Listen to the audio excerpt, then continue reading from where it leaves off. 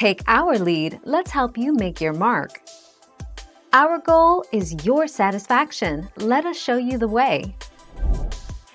As of March 2021, 15 states, Arkansas, Alabama, California, Delaware, Georgia, Idaho, Louisiana, Maine, Ohio, Oregon, South Carolina, Tennessee, Utah, Washington, and Wyoming, have passed laws, resolutions or voter initiatives for permanent DST, and dozens more are looking. 10 March 2021.